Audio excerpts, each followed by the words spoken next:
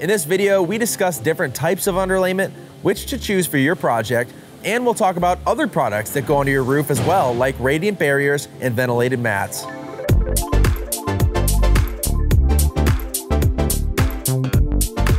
Contractors will refer to installing underlayment as drying in a roof. This is important because you're basically putting that first layer of weather tightness on your building.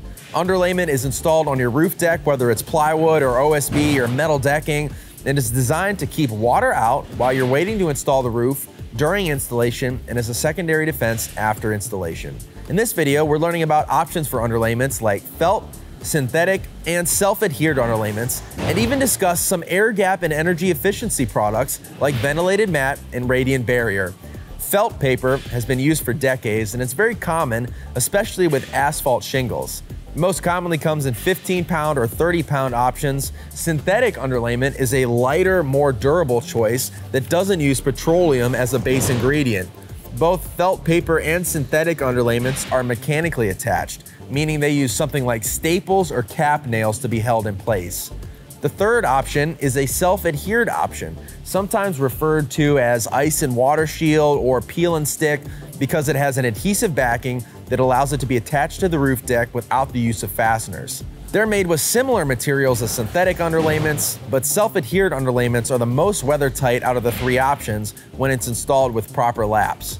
When it comes to standing seam metal roofing, it's always recommended that you use at least a synthetic underlayment and leave felt paper out of the conversation. Much of the choice between synthetic and self-adhered underlayments is based on your location. Some areas that have a temperate environment can use a synthetic in the field of the roof and a self-adhered underlayment around the perimeter and flashing zones. Using a self-adhered underlayment for the entire roof is a good choice when you need maximum weather tightness, such as low slope conditions or extreme weather environments, or if you have a commercial weather tight warranty installation, the manufacturer might require you to use a self-adhered underlayment. There are tons of underlayment manufacturers and products out there, and you can spend a lot of time searching through them all. What I've got here today and what Sheffield Metals recommends is Sharkskin underlayments. Their self-adhered underlayment is called Sharkskin Ultra SA, which we've talked about before. It sticks to the roof extremely well, holds up to a wide range of temperatures. It seals around fasteners during installation, has great walkability, and has excellent warranties, including a 50-year limited manufacturer's warranty and a 12-month UV exposure warranty. When you go to buy a roll of self-adhered underlayment, the standard roll size covers two squares, but some options out there come in rolls that cover up to 10 squares. Underlayments aren't the only thing that's installed underneath your metal. One option that could help cut energy costs is a radiant barrier. It's a shiny material that's designed to inhibit heat transfer through thermal radiation.